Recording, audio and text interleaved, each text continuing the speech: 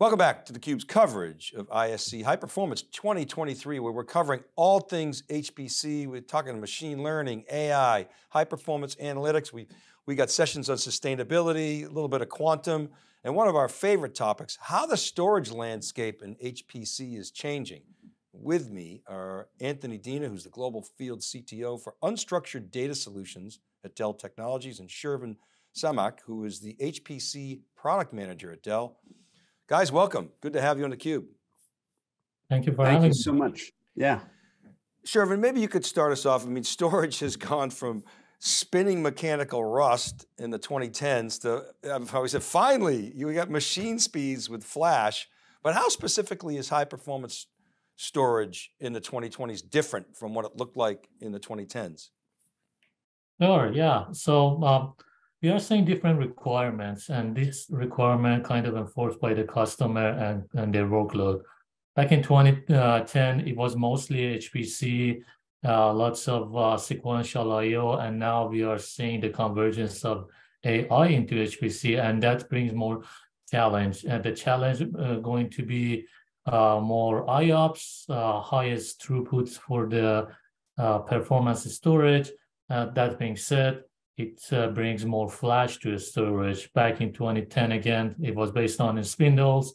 We are seeing a lot of more flash, specifically on NVMe, uh, blended into HPC storage. That's the uh, one of the changes we have seen in the past 10, 15 years.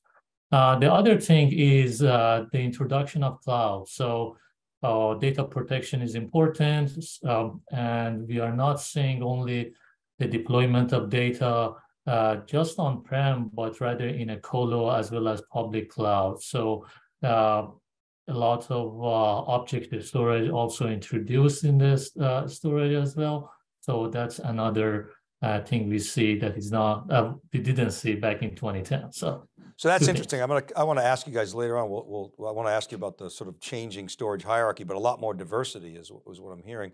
Um, so Anthony, I wonder if you could comment. Think about large scale HPC, been dominated by parallel file systems. I remember listening to way back in the early supercomputer days, you know, how you can share data across multiple network nodes in, in parallel. So it's perfect for data intensive workloads like now AI, especially for tightly coupled systems. My question is, do you see parallel file systems sort of maintaining their prominence and dominance in HPC in the future? Well, it's funny. I mean, there's so much work that's happening with scale out NAS uh, for embarrassingly parallel applications. It's the MPI uh, applications where we typically see the folding of physics or space, where that many to one write to a single file or a file that extends beyond a cache tier, where parallel file systems become interest. But what's interesting as we look at the workflow, uh, for example, in, in the research community around healthcare life sciences, the workflow as the data originates through an uh, NFS uh, right to a shared storage system will eventually get analyzed. Moving it into the HPC cluster, the result sets return back to the same folder so that the scientists can focus on the science. And so it's really part of a continuous loop. And I think that's what's changing. So even though parallel file systems gets all of the shiny lights at the uh, at a lot of these conferences, the real workhorse in many of the enterprise applications is not. So, okay, so is the implication on that, if I could just follow up, is that a benefit to, to workflow? Is it, is it cost? Does it just mean you could do more work with, with, with less? It's uh, about continuous operation. So instead of creating uh, data, moving it into the cluster and then bringing it back, uh, job schedulers that can move those uh, relevant data sets back into a place where it gets the intensive computational analysis and then returned is what we're talking about. So it's a workflow optimization uh, more than anything else. But yeah. that doesn't mean that parallel file systems are are fading. In fact, as particularly as we look for these AI intensive throughput oriented uh, workflows, it's still very, very relevant. Mm, interesting, thank you. Shervin, I love talking about HPC because there's so many technology advancements in the space. I mean, obviously, you know, the processor technology's been so much, you know, focused on and, and, and is diversifying, but You got improvements. We were just talking about parallel models. You got faster interconnects, optical, AI. You got to throw quantum in there into the mix, et cetera. From your point of view, what what are the technologies that are sort of changing the game in these high performance file systems that have the, the greatest impact on, on performance and, and, and, outcomes? Sure, so we can talk about it in maybe two different areas. One in, uh, is on the hardware and the other one is basically on the software side of it, a standard protocol that had been introduced. On the hardware side, uh, we saw the introduction of PCIe, and that kind of revolutionized uh, storage specifically. Uh, the other one was NVMe. So NVMe started to come in uh, in around like 2011, and in the past uh, almost 15, 14 years, we see uh, the throughput with the NVMe has been gone up uh, twice, uh, actually quadruple, 4x. So that's the hardware side of it. But when uh, we come to the software side, we see uh, different uh, introduction of CXL, uh, very important. We are going to see a lot more about it in the next coming years. Uh, RDMA over Converged Ethernet, so it's helping uh, storage as well. And I forgot one point about hardware, and that's 3D NAND. So like NVMe came in, and then we see the QLC and TLC coming in to kind of bring down the price of the NVMe. These are kind of the uh, advantages that we have seen in the past few years. We didn't have it in, back in 2010. Just to follow up on that, Sherman, if I could, sure. it, it, it seems to me that you know applications in the 2010s were were written assuming you had you know a slow spinning, you know, IO. Uh, so I could go off and do other things waiting for that. And now you're talking about PCIe, NVMe, 3D NAND, you know, Flash, where you could do atomic writes. You're not having to wait for chatty protocols. How has that affected the software layer and the way in which people think about writing apps? So that's uh, that's where like the uh, file system is going to become very important. Like uh, it's uh, actually different level of file. Uh, so we have the file system, and on top of that, we have the application. Think about it, maybe TensorFlow, PyTorch at, at that level. They have to interact with the file system. So we are seeing uh, a lot of those applications are going to be tuned and optimized to interact with the file system. That's one of the areas. But we're also seeing a lot more uh, maybe uh, features and maybe updates coming into the file system to, uh, to take advantage of the uh, high throughput media like the NVMe. So two areas, application side as well as the file system. Yeah, got it. Uh, Anthony, I want to come back and follow up on the parallel file systems conversation we're having and maybe talk about other possible alternatives. I mean, you hear about things like you know, you read about neuromorphic computing, you know, quantum's in there. I've read about DNA computing, and I've even read about uh, this thing called approximate computing.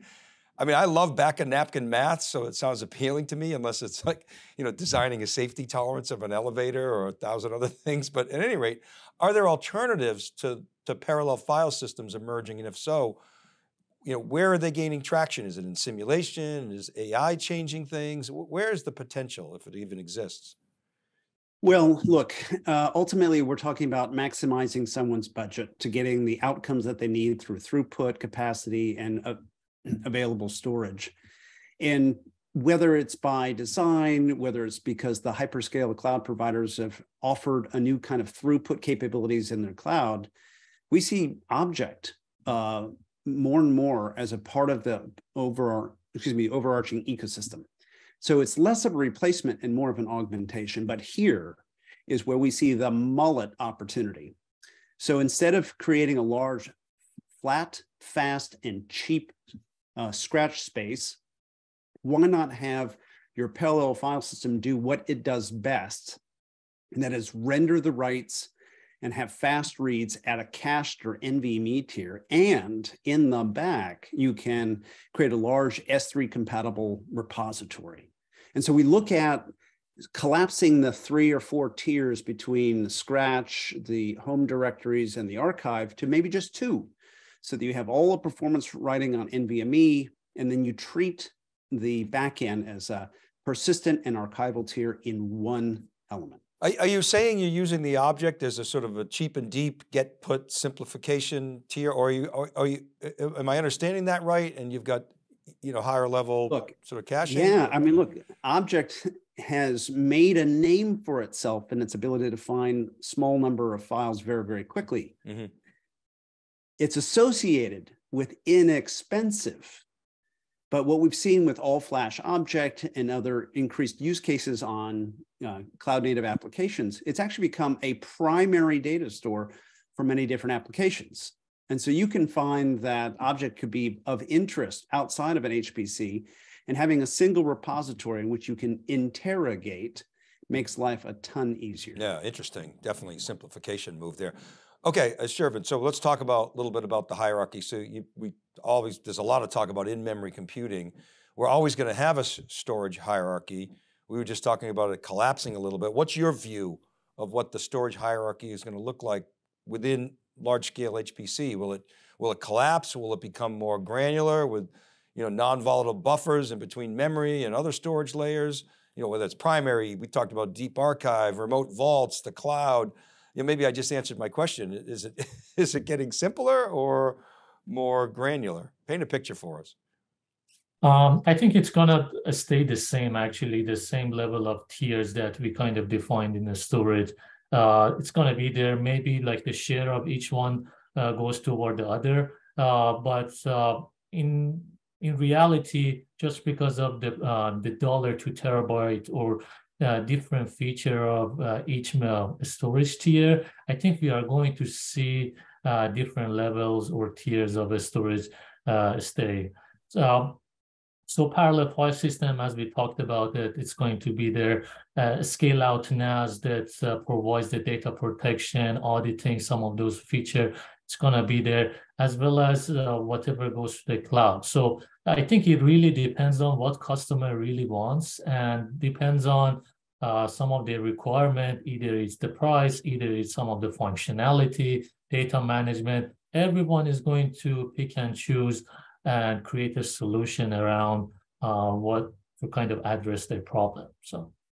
And I would add on top of that, honestly, uh, you know, the, the, the linchpin in the conversation isn't necessarily the throughput as much as it's the data management, knowing exactly what you have, feeding these exabyte scale requirements um, implies a level of control of being able to move those assets around. And so data management is going to be a very interesting function that uh, may have been a little bit of lower priority.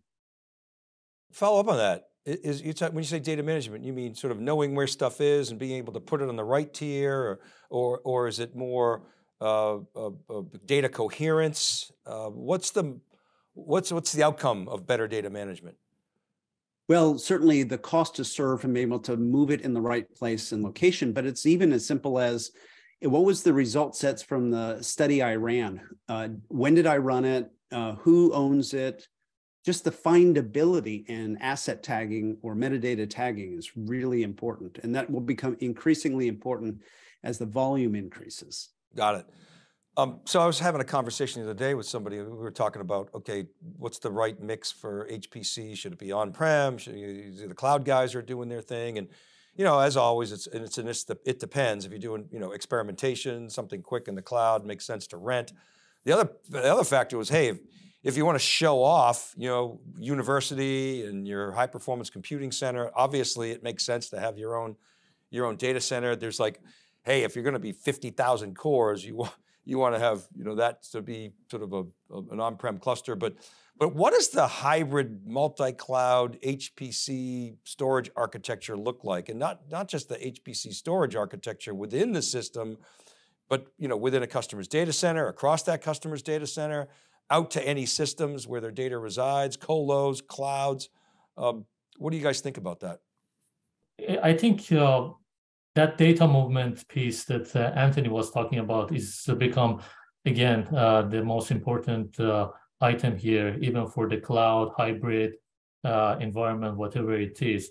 So because uh, at the end of the day, customers wanted to have data somewhere if they are putting it somewhere else, there needs to be some SaaS layer that take care of that data management for them.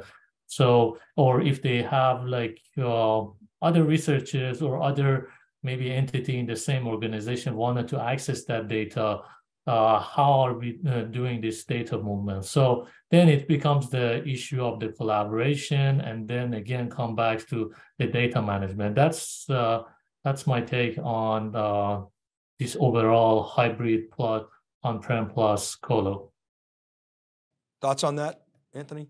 Uh, uh, for me, it's all about the, and I'm going to use the word loosely, business demands. So look, if you have, if you've spent your money, but an urgent project needs to get run, you are likely to go to the quote unquote spot market and use cloud resources to get that job done, even though it may be a more expensive value proposition.